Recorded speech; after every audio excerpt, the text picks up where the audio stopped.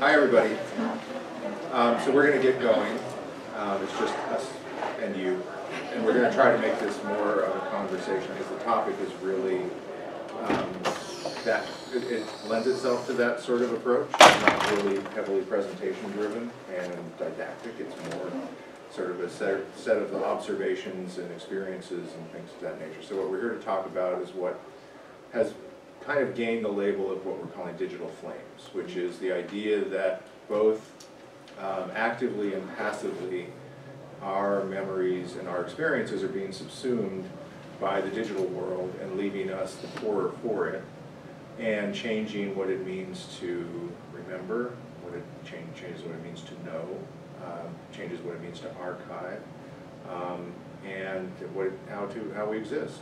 Um, so I'm Kent Anderson. I'm the uh, founder and CEO of Caldera Publishing Solutions. I was the founder of Scholarly Kitchen. I run the Geyser. I've been a publisher for a long time. And uh, I'm basically just a big, uh, a guy with a big mouth. Um, but you now are going to be subjected to that for the next little while, uh, except when my friend Karin Wulf talks and you want to introduce yourself. Yeah. Hello, I'm Karin Wulf. I'm the director of the Omohundro Institute for Early American History and Culture, which is a publisher, funder, and convener in the field of early American history. And I'm also a history professor at William and Mary. Yeah. And um, Karin and I had a really interesting uh, lunch uh, a couple of years ago um, in my town, Westborough, Massachusetts. And, and I said, oh, Karin, you like this, it's his, you know, historical. She was up there, you were up there for a, uh, a historical meeting. And, um, we were eating in a restaurant in town, and I said, oh, it's gonna be our 300th anniversary. And she said, oh, I have a favorite history book about Westborough. And I'm like, there's a history book about Westborough? And sure enough, I was able to get, uh, you know, like a Kinko's bound copy off of Amazon, and I read it, and it is fantastic. I mean, it's so nicely written, all this stuff from the, you know, 18th and 19th centuries. And it's like, that pond's still there. I know that house. Now I know why Parkman Lane is such a, you know, is where it is, and all about him and how the town drummed him out and all this stuff. So, thank you for that. That was fantastic. So what kind of inspired this session, I think, was a, uh post that I wrote um, for the Geyser a little over a year, about a, I don't know, a year ago, a half a year ago, called Are We Gradually Being Erased? And the observation was that I was reading Kindle books. How many of you have Kindles or read books electronically? Can we call it a nook? A Nook, we can call it a Nook, an ebook, an ebook reader, yes. de-brand it, uh, ebook reader. And what I was noticing is that I would have lower recall reading those books. I would not even remember sometimes that I'd read the book. Um, and I was starting to attribute it to the fact that I didn't handle it. I didn't see the spine, I didn't see the cover off, and I forget who the author was. And that wasn't normal for me. And when I read a book, I typically, I have good retention, I used to remember phone numbers like crazy. How many of you can tell me your significant other's phone number? Yeah. How many of you can tell me it's one of your children's phone numbers? Nope. Kids, that's not a fair test. Yeah, well, congratulations, actually. Um, But um, the, the challenge is that we don't actually interact with devices to enter those numbers anymore. So we just see a face and we press it and that's it, and it goes off. Um, And I vaguely re- recognize the last four digits of my, my uh, significant other's phone number. Um, But then I would compare that experience to reading a physical book, and I would, and my wife complains about the number of books that we have around the house. And I said, well, that's just part of my brain turned inside out, so I can tour it every once in a while, so just leave me alone. And I noticed that, you know, my record albums had gone away, and I used to remember those and sort them alphabetically and all of that, because I'm a little OCD.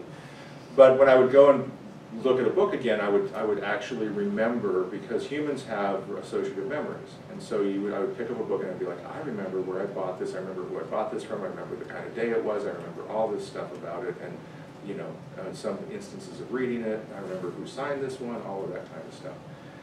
So we have associative memories, and the fewer physical objects we have to prompt those, the more detrained that memory becomes. And computers have what they call addressable memory. So I, if, a- if my experiences were actually programmed, retained by computer memory, you would be able to say, look at what happened to him on this day at this time, and you might find that I bought a book that day. But you, that's, that's the difference in the memory. Another way of thinking about it is humans have recognition memory and recall memory. Recognition is much more straightforward and normal for us. It's like when you, um, when you just, you know, you'll, you know, you hear a snatch of a song, you're like, all of a sudden, you recognize it and you're like, are transported somewhere else. But if you had to recall that and say, okay, you know, say, give me a Percy Sledge song right off the top of your head, you know, do that. Um, so physical objects, experiences, spatial experience, all of these things prompt our memories and keep our memories trained up um, so that they are functioning. And one of the premises of this post was that the, the more we turn over those things, so that Facebook is telling us where we were five years ago, or how many of you have ever had to look up on Amazon to remember, did you, or do you have this one thing because you ordered it? Yeah, yeah. Um, so they are, they are keeping our memories um, better than we are, because they have addressable memory, and they have very good functions of databases and things like that. Um, how many of you still um, have pictures printed, photos printed? Yeah. Um, there was a great part, a great post where they were talking about how the memory of, the functional memory of younger people is not the same because they don't have physical pictures. They don't actually insert them into albums or remember which album it's in. And again, all this spatial kind of stuff, touching, tactile, things of that nature. Um, so, you know, this kind of led to um, a, a discussion with people here at the conference. And, you know, so we're going to be having kind of more of an exploration of this tonight. There's going to be a dinner and things like that with a small group of people to talk about, do we turn this into some sort of bigger initiative? Um, another part that kind of led me into this, and then I'll turn it over to Karin, was um, a post I wrote before this one on another uh, publication called that I called Remembering How to Remember. And I was having the experience with Google Maps where I would use it all, everywhere. And my wife and I went to Stockholm, which is lovely. And if you've ever had actual Swedish meatballs, they're amazing. Um, but one day we went out and we used Google Maps to get around everywhere. And then the next day I said, no, it's not. There's signs and there's places. And the experience was totally different. It was pleasant. It was, we would explore. We would look around. And I had a similar experience in London where I went around without Google Maps and my wife went around with it. And we compared notes and I said, oh, did you go down Guitar Street? She's like, what's Guitar Street? And I said, it's the street with all the guitar stores. And she's like, I didn't never go. And I said, did you go down this street? She, yeah. She never noticed there were guitar stores because she was looking at her phone so much. Um, so again, it, it also removes us from the world and our knowledge of the world. We don't look at others as much. We don't have our heads up as much, all of those things. And then I started to, I was driving to a bunch of new places, um, and I would use Google Maps. And again, detrain myself so I became dependent on it. Then one day I thought, okay, I'm actually just going to turn it off and try to find my way there like, I- like I used to. And you just feel this part of your brain become active again. And it's like, okay, I actually remember how to remember. I remember how to read signs and think about where I might be. Um, so I just, I think this is an important area, so we're gonna talk a little bit about how our identities, our memories, our ability to remember are all sort of going up in what we're calling digital flames. And what that might mean, portend, and what we might do to mitigate it, so. Cool. Um, so for me, this, um, this partly comes out of, um, well, first of all, anytime you want to talk about memory, um, and you engage a historian, you're going to, you're going to get a kind of different perspective. Um, but for me also, um, as a publisher, but also as an active researcher and scholar, um, the incredible investment that we're making right now in creating digital books, long form reading in digital um, format worries me a lot because although I think all of the research that um, publishers have done about monographs in particular shows that the way people use those digital books is alongside physical books. Even my graduate students, they they use them to search or they pull things out of them, but they don't actually read really digitally.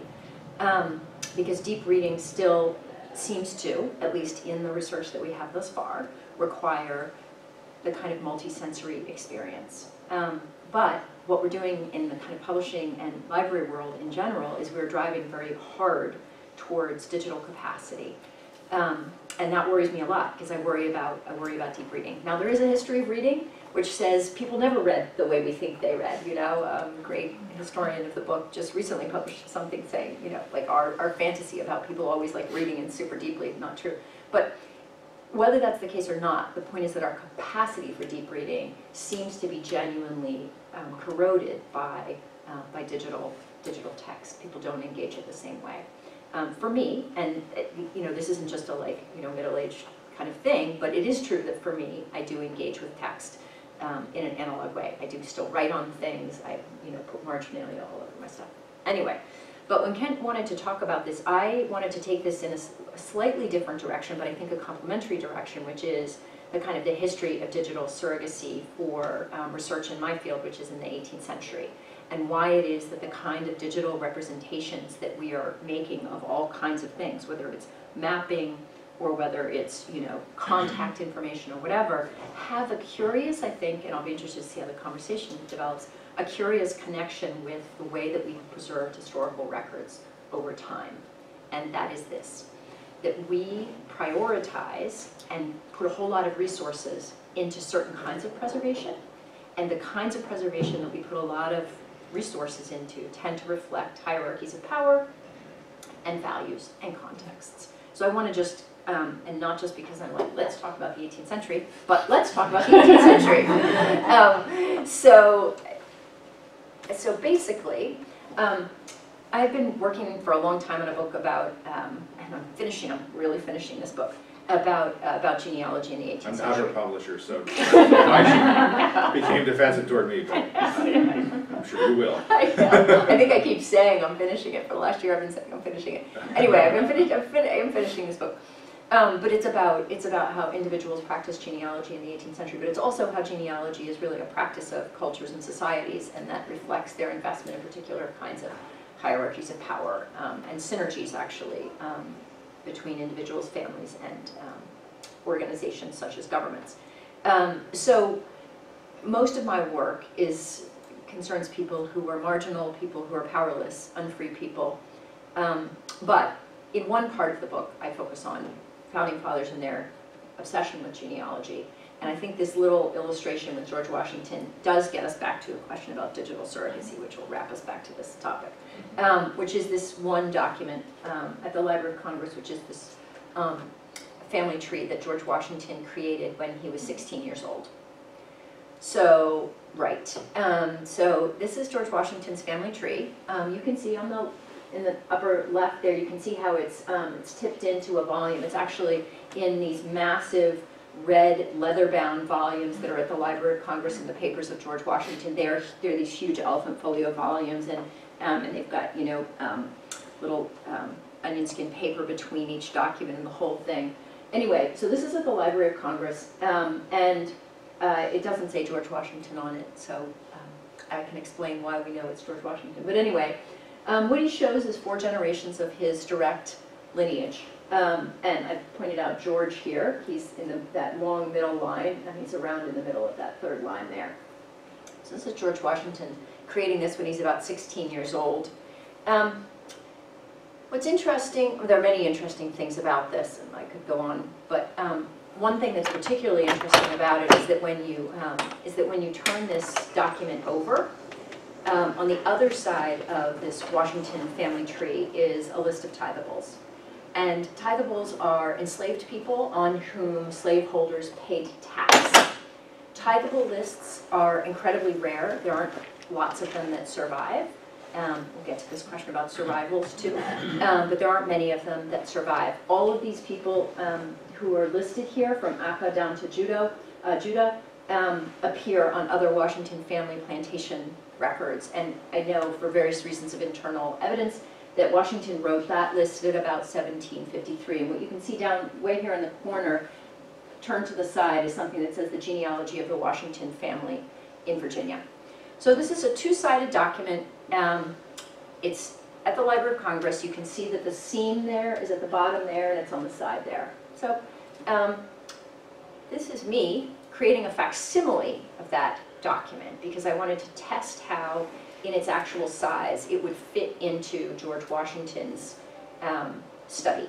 So I went into uh, his study at Mount Vernon with uh, some preservationists and some people who are expert in not just uh, the renovation, uh, the restoration of the building, but also in cabinetry and so on, to see how, why he was, if you see how it's folded there, why was he putting that label on that size? Is this, this is a standard paper size for the 18th century, um, but would it fit precisely in these um, particular cubby holes that he had built in the 1780s? Answer is absolutely yes. It probably would have been, I have it on its side there so that you, that's actually, is it resting in George Washington's study?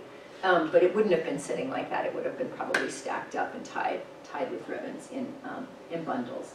Um, but the folds that I could see on the paper and that you can see represented there and that I've, um, reproduced in my facsimile version of it, make it, um, it, it rests right there. Uh, Can I ask a question? Yeah, And I know you're a historian and you're gonna have an answer. Um, Or not, maybe. But you're testing this at Mount Vernon, but you said he wrote this when he was sixteen. He wasn't living at Mount Vernon when he was No, sixteen. but he saved it. Okay. He saved it, um, and, uh, he, sa- so there's a long history of the preservation of this document, why it is where it is. Um, George Washington is actually pretty obsessed with his papers. Um, when he is, um, when he's general of the Continental Army, he employs multiple secretaries. George III, in fact, at this time had no secretary. Wrote his own stuff, wrote a lot more than George Washington. But George Washington had multiple secretaries and he um, commissions um, leather trunks to hold his papers so that they will be preserved for all time. And one of the reasons why I wanted to test this is because there's a moment in the 1790s when he comes back to Mount Vernon and he commissions, in fact, this very cabinet to hold my particular papers. So I wanted to know, would this object have fit into the cabinet which he calls holding his particular papers? Because the man has thousands of things and they would have been, and there were, there are closets that are stuffed with boxes and trunks. So, yeah. Thank you. I'm from Alexandria. I Yeah. find this very satisfying. Yeah. As, Very as, as a wit has once described, every man has a stupid system. So, um, or a particular system. So he particular has, he system. has, He he- I has. think he, it sounds like he had a system He that did. went back into his teenage He, years. he, he did, and I mean, it, so the, the question for me, and it's related to our digital flames thing, is um, why does this particular document survive? Um, most of our thinking about what we preserve, Kent has described a kind of um, dystopian future in which we have no memories, and what memory we have is, you know, given to some entities and some objects which may in fact be erased entirely. We have no control over it. But the truth is that most of what we know about the past is actually entirely accidental and very little of it survives. George Washington, this piece from George Washington survives entirely because George Washington is a super famous guy. And because if you want to learn anything about the 18th century, there are very few people who produced enough written material, and we've already, our society has given value to written text as historical object, um, and material that people were willing to preserve over time and then catalog and move around.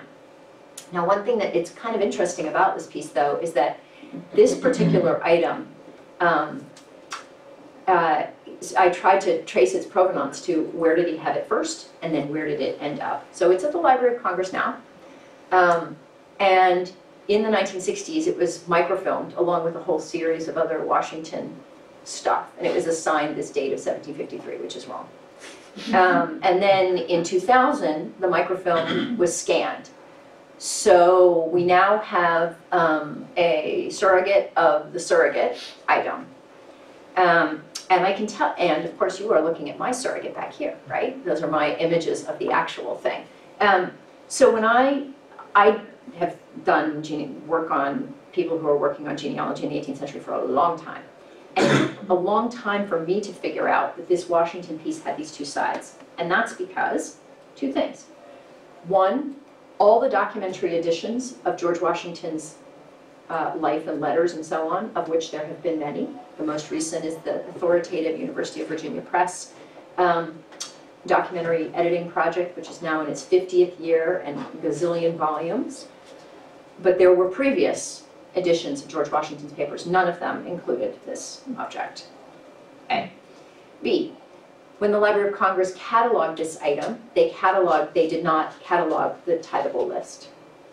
So only the genealogical chart was cataloged, and then it was never, and it was never included in any George Washington biographies, or at least I've looked at a lot of biographies, and all the you know, major George Washington biographies. Maybe there's a new one that's coming out in February by a feminist scholar, and maybe it will include it, but no one has addressed this. So when we talk about what we preserve and why and how it gets preserved, here I'm talking about an object from probably, arguably one of the most famous Americans of all time, the, certainly the most privileged, whose materials have been lavished with attention and certainly our public funding for preservation, conservation, cataloging, reproduction, facsimile after facsimile. And yet, the fact that he was listing these people and the names of those individuals on that list remained obscured to us. And why is that? That is because um, genealogy as a subject was not of real interest to historians and biographers. It seemed like a kind of, um, you know, girly thing for George Washington to be interested in. It also seemed like a kind of benign, domesticated interest of what significance could this possibly be. I can tell you from my research that genealogy is absolutely a political act. It is incredibly um, uh, fraught, and, and George Washington is practicing it exactly that way. I have to go on about that, Well, It's, but, it's, it's- it's but- interesting because this is, uh, at one level, he, I mean, we're kind of talking about two things, right? So you have, I'm, I, what brought me into this was sort of the observation, the personal memories and personal uh, recollections are kind of being sucked away, taken away, steeped away slowly by the digital space. And you are talking in some level about cultural memory, right? The cultural, what, what do we remember about our culture? What do we preserve? yeah, and And, and, but this is, this is an instance of him trying to remember personal things. And now we're, we're, have some insight into what he was willing to and able to remember and willing to preserve. Yeah. And willing to state as a, as a fact of And his there's, life. ano- but then there's another level to that too, because there's, you know, this entire field of digital preservation. Right. Talking about to what, what are we obligated to preserve, Right. essentially, of the digital Yeah. realm? What of those photos and texts and all of these things? And what about, you know, so, Well, so there's an interesting, so a sidelight, how many of you heard about the Universal Studios fire? Two, three. Yeah. It's something that they've kept quiet. Um, and it was in two thousand eight. And five hundred thousand master recordings were destroyed, including Aretha Franklin, Dizzy Gillespie, Chuck Berry, The Kingsmen, Louie Louie. Bill Haley and the Comets, Rock Around the Clock, and Etta James at last. All the master recordings destroyed. They've kept it very quiet because in their view, because all these recordings are out visually and on our phones and everything, nothing was really lost.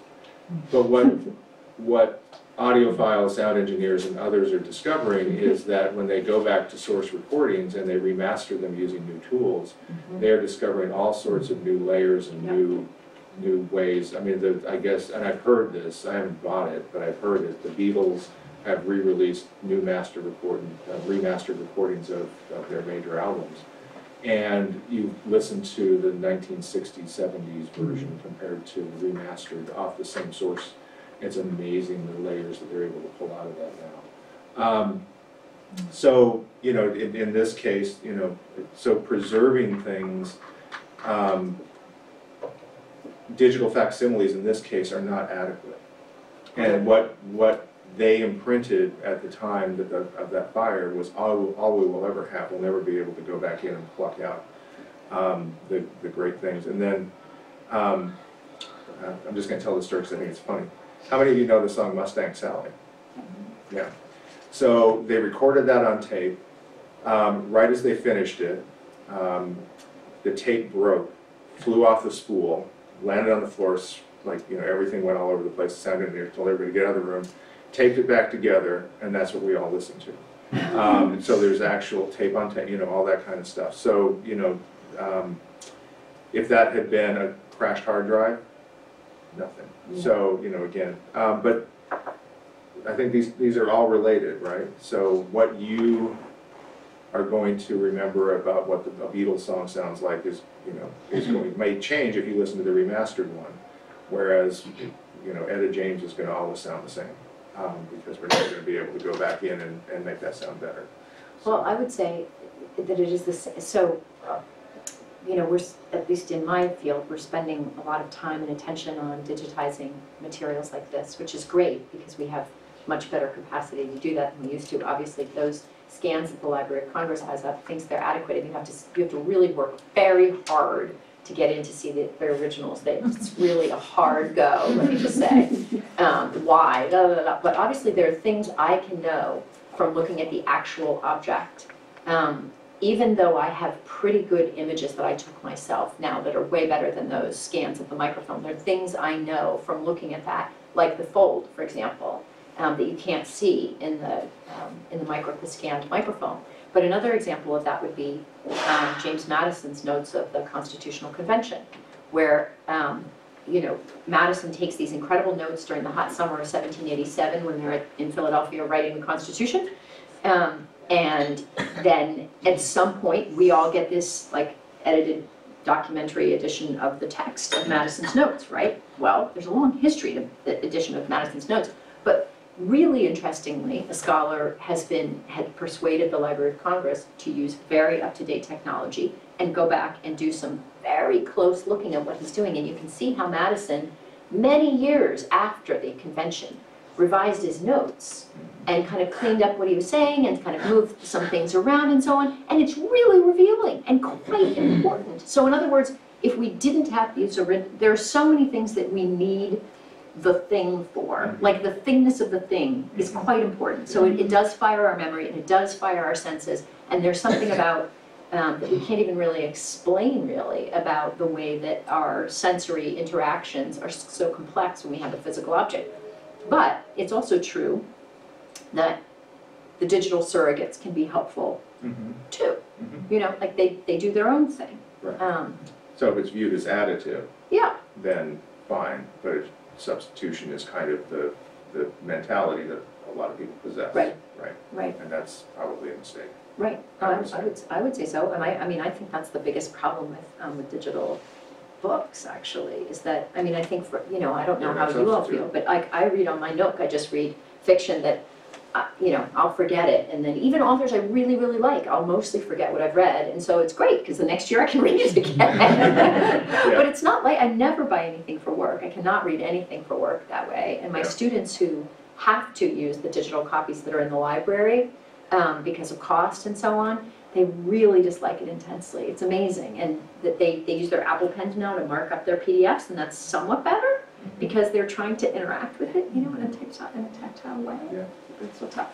There's another aspect I wanted to talk about, and then I wanted to see like, how we can all talk. Um, And that's about the design of the digital space.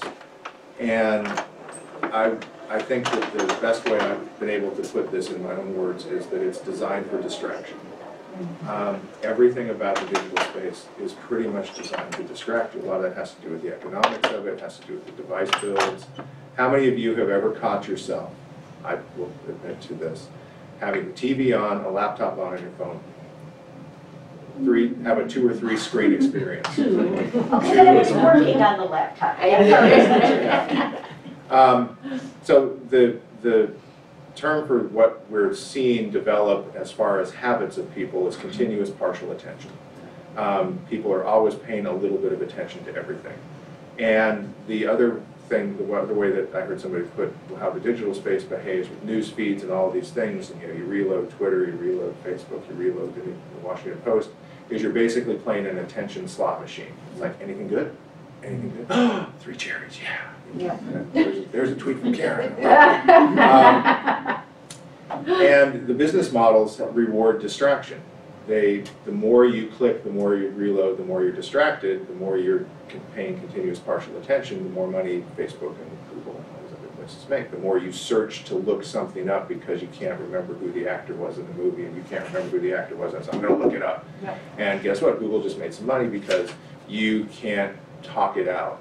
Um, and you guys have detrained memory now, and so you can see how this turns into sort of a cycle where the more they detrain your memory, the more dependency they create, the more they can they they get your continuous partial attention, and pretty soon you're uh, you're the what they call the fuel of their business, and your your detrained memory is um, is part of their their um, the benefit that they get. Um, so I think that that's, that's another part of it, has kind of piqued my interest in this is sort of how do we change the economics of attention so that they actually work in favor of people thinking longer, harder, and not having, and having focused attention and, and really thinking things through. Um, And then one other aspect of this is, you know, you talked about what's preserved, the political decisions Yeah. about what is preserved and what's not. And we're in a time where there are, where the politics of information have probably never been more glaring. Um, and I remember reading the Mueller report and noting that there were messages that he couldn't get copies of because of encryption. Messages from public officials to other public officials that, uh, that the government couldn't see because of encryption. And you have the whole Apple encrypted phone, they won't open it up and all of this because of privacy, but guess what, warrants probably Trump privacy, sorry I used the word Trump, I hate that word now. But, um, but you, you start to think about how much of the historical record is being hidden by encryption, that's a new variable, um, as far as cultural memory goes. And, you know, what's, you know, what, you know, besides somebody holding up their phone and letting you take pictures of their WhatsApp, what's actually going to break that apart? So, lots of things going on in this space. I would say, um, you know, that as a person living in this time, of course, I feel all of that super keenly. Um, But, you know, when you look at it from the perspective, the long perspective, Mhm. we've always only ever had partial information. People have only ever had partial information and encryption, you know, I mean, they're, they they- were doing that then. I think you Right. know that. Yeah, yeah, yeah. But, you know, Lots I of mean, ciphers. yes, lots of ciphers, lots of ciphers, all really complex stuff.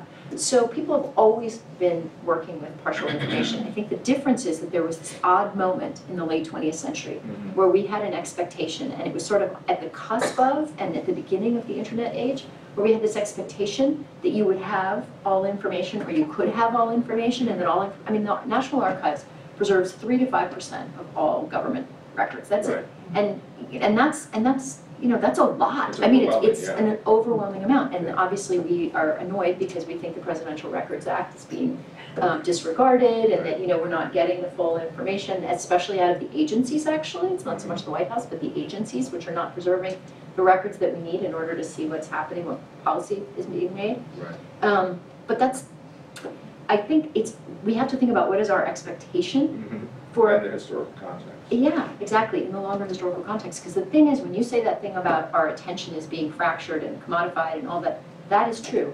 Our neurology is not gonna change with ten years of whatever, I mean, our experiences, but our neurology is still, you know, it took tens of thousands of years for people to, know, get the reading brain together, so, you know, we're not gonna shed it in But to ten your, years. to your tactile experience, observation, which I totally agree with, I remember reading a, a book by a brain surgeon who said that he had operated on so many people after, by the time he got into his sixties and seventies, he was no longer convinced that the mind was just in the brain. Mhm. He thought the mind was the whole neurological system Yeah. working in concert, which again gets back to the whole notion that, you know, touch, Yeah. smell, um, auditory, spatial, proprioception. Yes, um, yes. You know, all of that stuff Yep. factors into what you remember, what you recall. yeah, oh, So, no, yeah. absolutely, absolutely, and people who work on reading say that, you Yeah. know, that, that is, you know, that we're, Yeah. we're How many of you remember going down a roller coaster? Yeah. Not much reading involved in that. So, anyhow, so, Anyway, any of this pique your interest? Are there any particular topics? this is supposed to be a that- lively conversation, so that's how it was built, so, you Yeah, know. So now it's on you. Kind of, a a couple things, but kind of off the topic about your tactile, um, thing is, I worry about the, the young children now, not that, I mean, the college students are still using both, you know? Yeah. But the young children that get started out on the devices and like, when I was a kid, I remember my first fat book Mhm, I read was The Secret Garden. mhm, I mean, it was fat then, but, you know, and I still remember that. And I felt such a sense of accomplishment.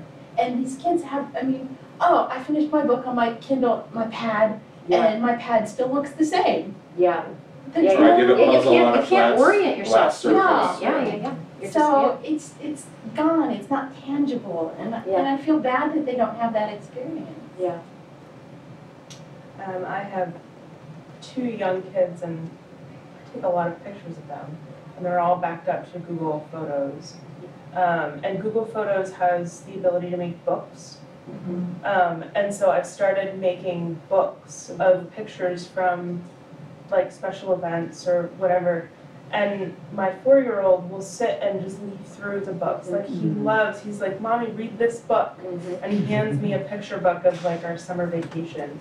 Um, and so I'm like thinking in my head, for Christmas, I'm just gonna print out the highlights of the last year in a book and Yeah. give them to the kids Yeah. for Christmas because he knows we're taking the pictures, but he doesn't actually ever get to see them. Yes, yeah, Um, yeah. So, I, there are some other, um, companies that do the same thing where you can Yeah. print out books. Well, I think that, I mean, that thing about like visual, our memory for the visual is also like, has to, not to be like a broken record here, but, um, but, you know, until the mid twentieth century, nobody had any expectation that you would have a visual record of the people that you were closest to. Um, and, you know, remember when, when, when I was a kid, people would take your picture and then you would wait, and then they would come back. And then, you know, and also you would have like this fat thing of like ninety percent terrible pictures, Right. or random pictures or whatever, you know? Um, so it, I, I think, you know, there, there was only a brief moment, um, I guess with Polaroids and things, where you would take a picture, you would be conscious that the picture was being taken, and you would have the, you know, the material, um, thing. Right there.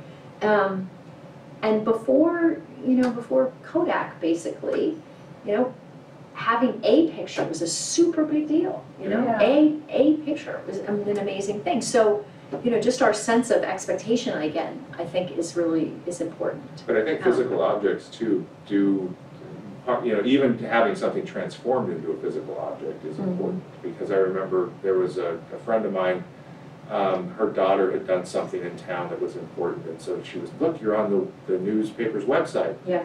So, so the newspaper came at the end of the week, it was a weekly newspaper. Yeah. They're not in there.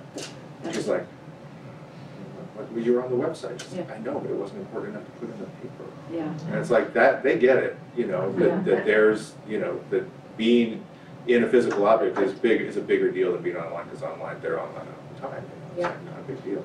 And I think just the transformation is a huge thing. Well, I think I too have a, a four-year-old and an eight-year-old, and they live their lives on tablets as much as I try to get them off of it. And, you know, we will be sitting in our family room, and I'm on my phone, and Yep. I'm watching TV, and both of my boys are on a tablet or a computer, and Yep. and then they're like, "Mommy, I want to watch something on the TV," and it's like, "Well, you're on that. I want to watch something on the TV too." Yeah. But I think kids now um, are still lucky in the fact that their parents, like me, Yeah. um, did not grow up the way they grew up.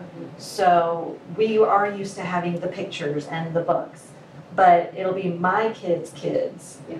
that, because my kids, like the story you just told, this little girl wanted to see her picture in the paper, in the physical source. Because my grandchildren, their parents won't have that as part of what they're used to. They have it some, but it's gonna be the more generations down the line that are gonna not benefit from the physical thing as much, because I'm still giving my kids books. That's what, I'm a librarian, I love Yeah, books. yeah. Um, exactly. So I'm still making sure, and I hate technology in many ways, so I'm still making sure to give that to my kids, but my kids love technology. You know, so it'll be my grandchildren that I'm gonna have to work to give physical things to, so that they will be able to experience that. What's amazing to me is, um, so my kids are older, my, I have, um, late teen and young adults. Um, and for my kids who did not, you know, they sort of transitioned to this kind of technology halfway through their childhood in a sense, but became so enmeshed, I mean, just like unbelievably absorbed in it, and to the point where with my youngest, you have, you have to still say, like, no, you actually have to read an actual book. Mm-hmm. But what, every time what he says to me is, every time he starts reading an actual book, you're like, oh, this is great. Mm-hmm. This is really great. I'm like, that's right, it is great. It is great, and you're really loving it. You see, you know, it's, and there's this thing about orienting yourself. You can find yourself in the book. He knows how far he is. He can flip back and Yeah. forth. You can quickly. Those are all the things that you know we, we do when we do deep reading, whether it's for pleasure or whether it's for scholarship or whatever it's for. You know that it's a really good technology. The book. Yeah. It's like lasted a long time. Yes. Amazing. Yeah. Um, my husband is going to be so happy that when I tell him about this session, because I always give him a hard time about being a hoarder, and but like he has five different copies of Treasure Island. Uh-huh. He has the one that he stole from his elementary library. Ah. He has the one that his grandmother gave him, and like I don't, I, I have a hard time understanding why you need five copies of the same book when it's in the public domain and every single library. copies of the same book. They're But different. every single one is Yeah, different, and they're now different I understand that's the inside of his brain. Exactly, exactly, it's just his brain, It's his brain on. Yes. And Yeah, yeah, go ahead. Um, but kind of on the flip side of that, I just toured our neighborhood elementary school and they use Chromebooks. And I work in technology. I kind of roll my eyes when everybody's like, oh, we have Chromebooks. I'm like, that's great. What do you actually do with them? you know? Um, but what they have software on them that allows kids to go at their own pace for reading and for math. Mhm. And so you can have a classroom of 20 kids and they might be all at different levels and they have some general instruction time, but then they have time to work at their own pace on these Chromebooks on an application that takes them through reading and math. And so it's just, and then as the kids get older, they do collaborative um, editing of Google Docs and they have to give review, they have to review their their classmates' papers and put comments through Google Docs. And I'm like, oh, that's what we do in the working world. you know, like they're actually using the technology in the way that it's used in a professional um, environment. And That makes me happy and sad. yeah, Yeah. Ten-hour school days are coming. um, but it's just it. I, I'm I'm actually excited now to see that they're actually using the technology in a way to help students. Um, but then also giving them like real life experience. I was reading um, a great book um, on the theory of digital preservation, Theory and Craft, Trevor, Trevor Owens' book, which is really, really interesting. But he talked about um, libraries acquiring um, in their special collections uh, authors' um, works. And they were talking about um, Salman Rushdie's Mm. materials, which came with two laptops. Mm. And essentially came with the laptop environment in which he worked. So, and the question was, how do you recapture the material world in which he worked digitally? Mm. So like, how do you keep that thing going so you can see that he's using the sticky notes feature actually as he's working? Um, or Mm. Carl Sagan's um, papers, which came on, I can't even remember, thousands and thousands of floppy disks. Um, so this question of like, there is a material reality to the digital world Mhm. Too. Kindle's way more when they're full. Yeah, They actually, there actually is, they're actually, their weight changes when they, as you add more to the memory. Yeah. Actually, What kind of scale do you need though? I forget, there was a paper, like, it was like five, five or eight years ago, where they like, they actually, you know, they actually weighed Kindles, and they're like, you- as you add books, it actually causes them to gain it's like so a small amount, yeah. But there is this, I mean, but there is this way in which, like, it's true that there's an aspect of the digital which is ephemeral and not material, but there's an aspect of the digital world which is material, and I think that's what you're getting at with the kids working on their Chromebooks. They're actually interacting with this physical object, you know, that there is a physical thing they're doing, and when they're doing something with it, that's different than, I think, like reading or passively, you know, um, Right. But I think to your point about human, human neurology, physiology, all this being unchanging, so my son's a computer science student at McGill, and he does all this complicated stuff, but you look at his notebooks, mhm. spiral notebooks. Yeah. There, it's scads of writing, scads of writing, and so we're like, why, why so much? And he's like, it helps me think. Yeah. And I like, oh, of I it does. kind of feel like we're, uh, we're talking about two different, we're talking about preservation of the, the, the most Yeah. significant historically imbued object. Yeah. And we're talking about memory creation. Right. Yeah, And it- th- Yeah. what you were saying about the five different copies of Treasure Island, yeah, I had a fight with a friend of mine about ten years ago because I will get a, I'll get a book and it's a book and I'll take it in the bathtub and I write on it. I still, I don't care because it's the other Boleyn girl yeah, and it's Yeah. crap. And I can buy another one. yeah, yeah. But there was a point in history when if you had a book it was handwritten and it cost your family, you know, a year of crops or something and you're gonna pass it down forever. And I think, I mean, to a certain extent, we've already been through this, moving away from the one sacred important object Yeah. to there are thousands of copies. And now the medium has changed, but the idea that really you just, I- I don't know, you, Well, you just but- but- killed one version But of I something think, I that think still the thread, exists. the thread between them is, you know, humans are interpreting both of these, Yes. right? Yeah. So which one And creating values and Yeah, and- hierarchies and. and they aren't necessarily at odds, they've been kind of pitched as at odds, you know, this is gonna replace that. Yeah. Mm-hmm. And that's just inevitable. Mm-hmm. And I don't think that's the case, I don't think that's good.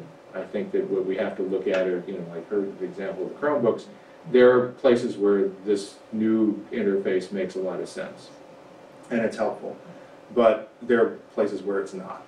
And there are places where it actually deprives you of, of important information or recollections or, you know, it deprives archivists of information and things of that nature, so. I think there's, there's, that's kind of the thread is, okay, from, from a human standpoint, not buying the technologist's, um, version of, of the world where humans are just something to be brought into the pipes, but actually own the world, uh, and run it, you know, what do we want? So, I think there's another, I think there's another thread there, which is just asking us to be self-conscious about um, how these things are operating on us and how we are contributing to them. Because this doesn't happen absent our participation. mhm. The preservation of George Washington's stuff happens because, you know, there has been, a I mean, there are hierarchies of power in this, but, but there's a collective participation in a choice to do this and to really invest in this thing, you know? So being a cataloger at the Library of Congress. Aha! What about the date? Should we fix that? Yeah, I know, I know, I know. I've written three different things. Really? of- Yeah, yeah, yeah, yeah, yeah, Um, this and summer. the, and the other thing is that, that verso, I mean, if you look at it, Yeah. that is someone else's genealogy. Oh, it is, totally. So- Yeah, no, I know. And you know, so, I it's, it- it's an, and the cataloging error actually, um, I would love to talk to you after. Um, The cataloging error meant that, um, there, there is a project at the Library of Virginia to collect tithable lists and to use those for African-American genealogies. that- And that's, and that's not, that's not there. Yeah. And about Vernon, where they've been in trying to interpret, you know, this massive effort to interpret the lives of people who were enslaved at Mount Vernon. And they didn't have it in their database of a gazillion documents, and they were like, oh, you know, an unknown doc, like, it's very rare when you could say an unknown George Washington thingy, you know? Yeah. Um, so it's actually this cataloging, and it's, it, is it a cataloging error, or is it just like a cataloging choice? Do you know what I mean? And it was a cataloging choice. What was it, was it an individual document or was it bound together in part of this larger? No, no, it's two sides of the same thing. No, no, no, not, not this piece, but. Yeah. Like you said, it was within this large folio. So was the folio catalog or was this the genealogy catalog separately? So the volume, the big volume is just, um, all of George, a bunch of George Washington's papers were at the State Department, they went to the Library of mm-hmm. Congress in the twentieth century. Library of Congress, at some point, Yeah. somebody, mid-twentieth century, decides to put them in chronological order, and then put them in these big red volumes. So it's, so every item in those volumes are cataloged independently Okay, and separately. okay. Yeah, so that's actually what you're seeing here, is, that's the, So that's the cataloging, that's image two on the far right there. Image two, and you can see, you can barely read it, right, but image two of George Washington genealogy chart, that's the list of tithables. It was either, it was either, it was either a mistake or, or a poor choice. Yeah. Not, not being in the mind of the person who yeah, cataloged it at yeah. that time, you can't But- say which, Yeah. which one it was, But, you know, I mean, having, having looked at tons of genealogical material for the eighteenth century, I can tell you the catalogers were pretty uninterested in it for a long time and just didn't, just, it just didn't really do very much with it, Well, basically. this And is you keep kind of cataloging like the that kind of sixties, Mount thing. Vernon wasn't paying much attention to slave history at that No, point. okay. Right, yeah. So I have a weird Yeah. story about the analog to digital. So when my mom passed away a few years ago, and she was a go-getter from mm-hmm. day one. Mm-hmm. Um, I didn't know how much of it, but at, but going through her things, I found this little seventy-eight RPM record that she had cut, because they used to have booths where you could go and, and cut records. And she was auditioning essentially, um, to do uh, readings. And so it was her voice as a nineteen-year-old, which I'd never Wow. heard, which was amazing, and really cute. I mean, you know, it sounded like the doll. But, um, so, but there was, I had no, I, I had a turntable that could only do forty-fives and thirty-threes, Yeah. right? Because all the seventy-eight turntables are in, you know, junkyards at this point. But you could, you could, tra- I could transfer it to digital and speed it up and get the accurate recording. So again, you know, these things are not, they can be complementary, but again, what you're using it for, Yeah. does that help? Or, you know, again, being, I think the big burden on all of us is just thinking harder about Yeah. what's going on around us and what we're, how we're interacting with the world. So. But I'm sorry. I, I have two comments, of- and I'm thinking about your grad students, Mm. grad students everywhere, who have to use ebooks. Yeah. And how that is often unsatisfying. Sometimes it's very satisfying because it gives access. Mhm. Um, But, um, I was at a session earlier today, uh, seventeen, a comparison of seventeen different ebook platforms. And one of the comments from the person analyzing it was, um, you know, some will let you download the whole book and some, you know, eke it out to you in chapters and things like that. And so a, a plea to publishers to make the whole book available. Um, but then I also was thinking of your comment about annotating, and we've had conversations about that with, um, it varies by platform, but um, the sense that you can annotate the thing, but you can't necessarily own it, and you can't necessarily download your annotated version. Who owns your intellectual, you know, Yep. property around uh, engaging with that text? So there, Yeah. there are a lot of issues Yeah. to be solved, and um, another point from this morning's session on ebooks was some publishers are making it possible to, within the platform, to get a print copy, to order up a print copy. Yeah. That Yeah, puts the, the cost for that print onto an individual researcher, and it might eventually put the cost onto the libraries, um, if we get requests for that kind of thing, but, um, it's, uh, it, we've increased our access, but, um, we've compromised on Yeah, it's not the Um, same long-term usability, and I think we'll, as we talk about shared print repositories, I think we have to talk about shared print copies Yeah. for the purpose of Yeah. usability. Yeah, I have, I mean, I run a reading group, um, for s- outside, even outside of our classes, and, um, uh, I just buy four copies of every book we're gonna read for the year. So we do about a book a month at a lunch thing for grad students, and, you know, because if there's, if there's a physical copy, they will, they will read it, and they will come to the reading group, and they will, you know, but if we're not, if we're not providing them, um, But it's interesting good for because, University Press sales too. I mean, even, even the, again, back to this sort of design for distraction. You know, Yeah. all this, all these things are designed so I, I run a, I- uh, the Geyser's run on a platform called Substack, which is subscription-based, so you kind of get into the business model and all of this and how it feeds into things. But because of that, they designed it so that everything's delivered by email, which is interestingly, the only non-monopolized platform right now. Yeah. It's the only totally, totally open platform. Um, because, you know, social's owned by Facebook basically and Twitter. And, you know, you go on down, the search is owned by Google, but email, totally democratized still. Um, so that's, that was one of their insights. But the other insight was that everything is delivered as single column about the width you would expect from a typo- typographic uh, standpoint of a, of a page.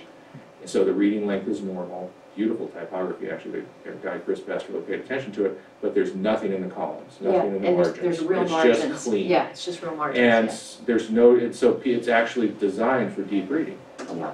And you look at these ebook platforms, and I only know a few of them, but even if you have an annotation tool floating out- there, or, you know, some sort of other helpful links about, you know, also read this, also read that, you know, it's, it's, that's distraction.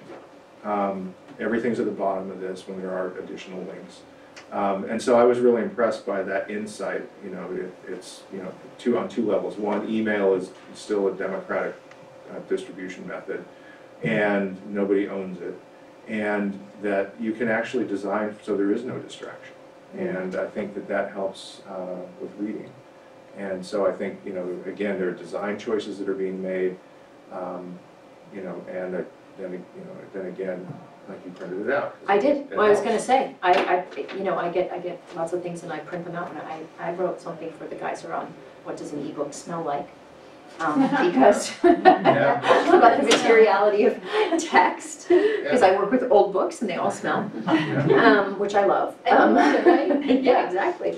Um, but it is true that like really, the, I feel like the thing that's gonna make a difference, I think the iPad with scribbling, it really makes, Helps. that really, really makes a difference. But you don't get, you, obviously you can only get that on certain, you know, applications.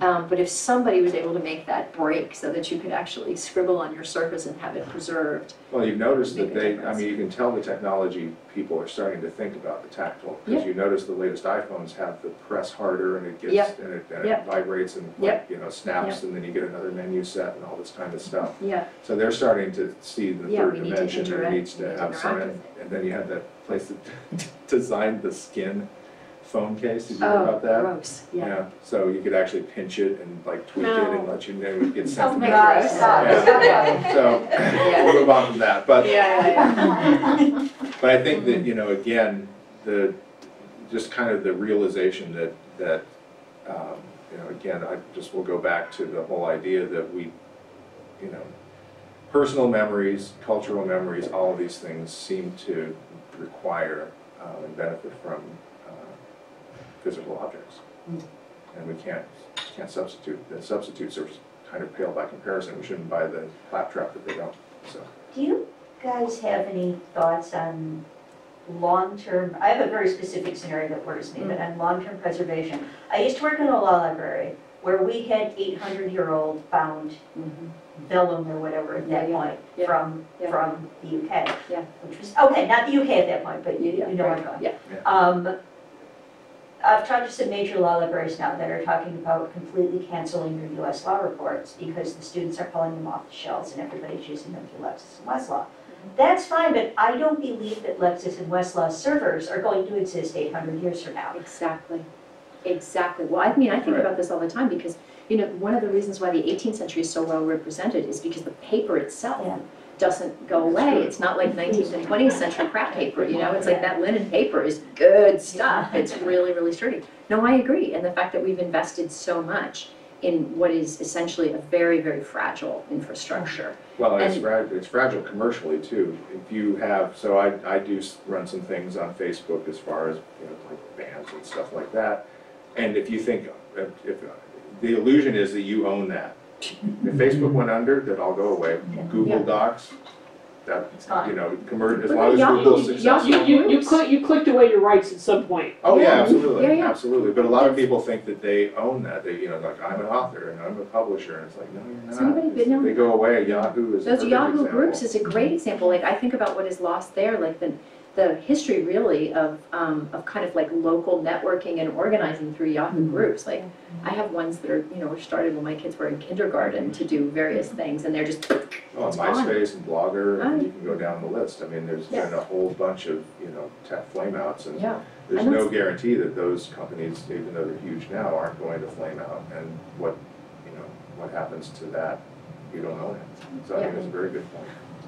But I do think there's sort of a mindset, I mean, for our generation, right here, um, our generation of that, the physical historical stuff, like I just cleaned out my attic. Yeah, And I've got my grandparents and great-grandparents' photographs and Yeah. letters and yeah, things. yeah, And then I look at my niece and nephew, that next generation. Yeah. Do they want the hideous hand-drawn portraits done in Norway? Yeah, from their great great yeah, grandparents? yeah. They might, mine are hanging on my dining room wall. Well, One thing I've You been, know, I've or been they'll very. say, you know, in their head, you know, digitize it all, and then just send me the, you know, it's like, Uh, Yeah, But I think, but I think, I think on my too. I mean, yeah, yeah, I've been impressed by, one, one of the benefits, I think, of digital distribution and preservation at one level is I've been impressed by how much uh, cu- historical culture kids know. They, they know Maltese Falcon, they know, you know, they know a lot of things that, you know, you wouldn't expect, and it's like, oh, that's pretty impressive. Um, But, um, yeah, so that was. Well, I was just gonna say that, I mean, but that has been true forever, that most of what people own has just gone into the great beyond. Um, and, you know, so, um, I'm a person who keeps a lot of stuff, not, not a lot, a lot, but like, you know, it's some Only selected. four copies of, some selected set of stuff. Um, but I, you know, sometimes I think it's okay to, it- when we think about what we still have from, you know, it's okay. Things, things can go away. You know, keeping a couple of special things is a good idea. You know, selective curation is a good idea. And, you know, because a lot of stuff is just gonna be gone. That's just how it is. But I do think there was this expectation, it's a kind of moment of expectation in the twentieth century that, you know, we would, we could fix things in time What, would. was it ever realistic though? No, there are so many things about the mid-twentieth century which are crazy, right? You know, this, I mean, the idea that democracy was gonna work, for example. Seriously, like this what were brief you moment. what were we on? Yeah, yeah, yeah, brief moment of like expanded voting rights, right? I mean, no, literally, I, I really believe that, like the mid-twentieth century is like a weird moment. Um, and, but it set our expectations for a lot of things that, um, have made it difficult to keep things in perspective. Yes, indeed, indeed, yeah. Anyway, so I know So- you're worried about like that we're gonna lose all these, we're losing all these things from digital Well, I think investment, and I- I I- keep trying to say, we're gonna lose a ton of stuff anyway, Yeah, I think I'm- basically, I'm- but it's about how are we gonna make choices about where, what we're think gonna it's choices, I Yeah. think it's also identity. Um, you know, I think that it's, to me, some of the, like, you know, the memories and the, the relationships I have with my own personal history Yeah. being on display is kind of part of my identity. Yeah.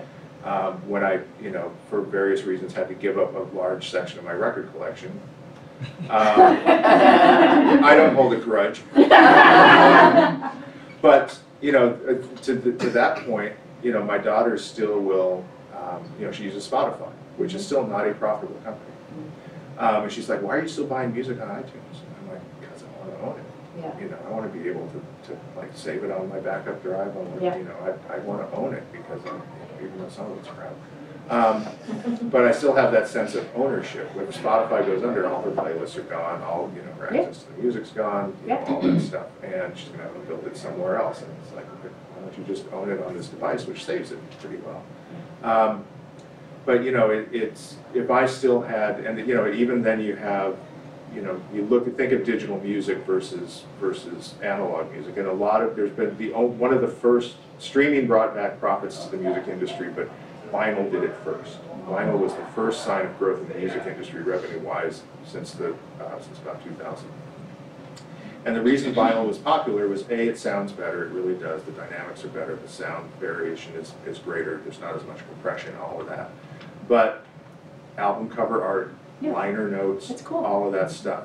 So people, you know, you know, the- knowing the lyrics to a song, knowing who produced it, who played drums on it, all of that stuff was a natural part of LPs and the physical album that you know, evolved over time. And now that's all pretty much gone away. You can't even get metadata on it in most cases uh, when you go into digital music because there's no, um, there's no incentive for anybody to present that. So, you know, they're probably, I remember there were, there were great session you know, musicians and producers and all this. You knew which record label, you know, put out Springsteen and Billy Joel. It was Columbia because they had the same artwork on the spine of all their albums and all this stuff. You knew the look and you knew they had great artists and great taste. You knew who, you know, uh, uh, Bob, what was his name? Um, You can look it up on your I'll phone. look it up later. I'm actually gonna think about that. Bob Clear, Bob Clearmount, um, was a great, you know, he was a great master. Yeah. He would master albums in a fantastic way. Yeah. Nobody knows that anymore. you know, And, um, so, you know, I think that, again, the physical objects, people are still returning to them because there are rewards to, to visiting, like, you know, your kids with the, the Google Photo Books. It's, it's rewarding, it's fun, it's interesting to touch memories and to, to, you know, to have a physical interaction with what is ultimately a cerebral experience. Well, I think the thing that brings us all together here is the thing, is books, really, because the, the, the real connective tissue here is that I think there's a, a strong sense that if we, if we overinvest in digital books, essentially in Right. ebooks, and we underinvest profoundly um, in physical books, we lose a lot, a lot, a lot. And so do students and Yep. historians and, yeah. Yeah. Another LC cataloger. Yeah. I'm here. Hello, LC friends. Um, I catalog for the grant materials section, Uh-huh. so I may be able to mark up the trees for you. Um, Excellent. I know the woman who catalogs the Jefferson Collection, for example. Um, and I work on Hawaiian imprints. These are the first, um, materials printed on the Hawaiian Islands, and actually the first Wow. printing press west of the Rockies. Wow, that's cool. Um, and so I definitely agree that interacting with a physical object gives you something that affects. That's just because you get trips to Hawaii. Yeah. Probably not. At the same time, though, there are still people in Hawaii who Yeah. live their whole lives there Yeah. and will never be able to travel five thousand miles. Yes, to see this thing. So there's a, yes, there's a virtue to the digital surrogacy, sure. For sure, for sure, for sure. Yeah. Well, then, then, then when I say to you that I had to work very hard on Julie Miller to be able to get to the inside. I was like, I've worked with her for years too, and it's like, seriously? Anyway, I found it Yeah, interesting, she you were talking about the George Washington materials moved all the way around, you know, they didn't just stay at Yeah. Mount Vernon, was it, whatever. And so Yeah, I think it no, kind no. of speaks to, I'm a librarian in uh, Erie County, Uh-huh. and so uh, I think we have a uh, kind of, we need to respect the communities and get stuff from the communities. Yeah. And then pipe them out into DPLA and all these different things, because we're the ones yes, who yes. can kind of help keep all this stuff alive. but- yes. And we're the ones who select what to present in the Yeah. first place, it's a Yeah. very important role. Yeah, no, I, I couldn't, I couldn't agree more. Somebody said that, um, who said they had their, their childhood copy of something that didn't go back to the library? Oh. Oh, oh, yeah, yeah, yeah. So this summer, I, um, I had a book that I checked out in nineteen seventy-two from the Carnegie Library in Pittsburgh. And I went back to the Carnegie Library to get the book back and to pay my fine.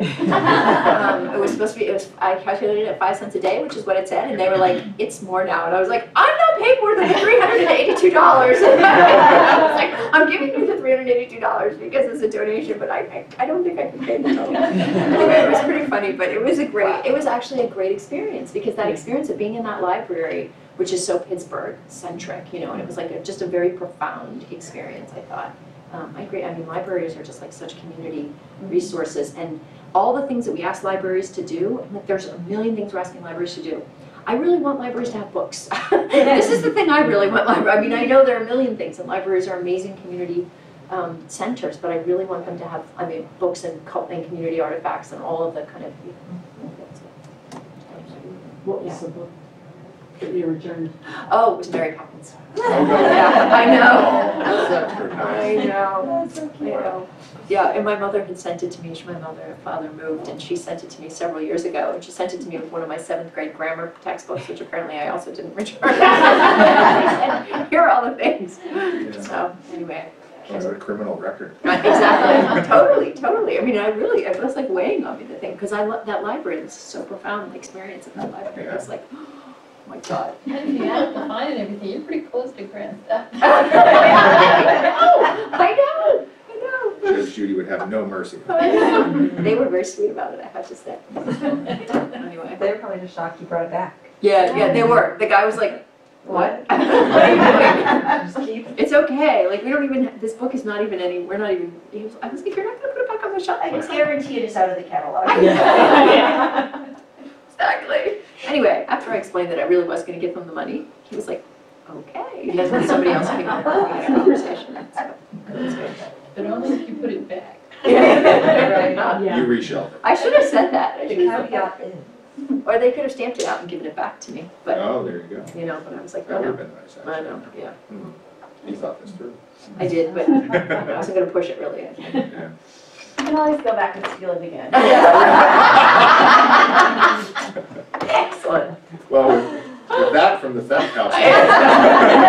Exactly. Um, Thank you all for Anyway, this conversation and for attending. We really Yeah. appreciate it. I hope it was, I hope it gives you food for thought. Super interesting. And uh, get you buying some more print books. Yeah. Put them on your shelves proudly in vinyl albums. I think this, I think this is probably the crowd that we're, we're, have to get to.